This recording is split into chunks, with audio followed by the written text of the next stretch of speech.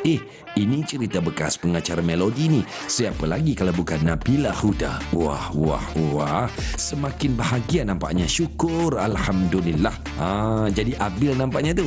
Macam mana pula dengan kehidupan hujung minggu tanpa melodi? Ooh, I feel so free sekarang. I dah dapat my Sunday balik. I tak ada rasa nervous-nervous. Macam fikir nak pakai apa, nak kena make up sampai 2 jam. Not anymore. So sekarang ni pagi-pagi, pukul 7 I dah bangun. I masak sarapan. Lepas masak sarapan, I tidur. Lepas tu 12.30, I buka lah melody tengok Ain Idra. And then, pergi tengok wayang, jalan-jalan. Sebelum ni Abil ada pernah mengeluarkan statement yang Abil ni mudah lupa. Abil tak takut ke benda tu akan jejaskan kiri Abil? Mudah lupa.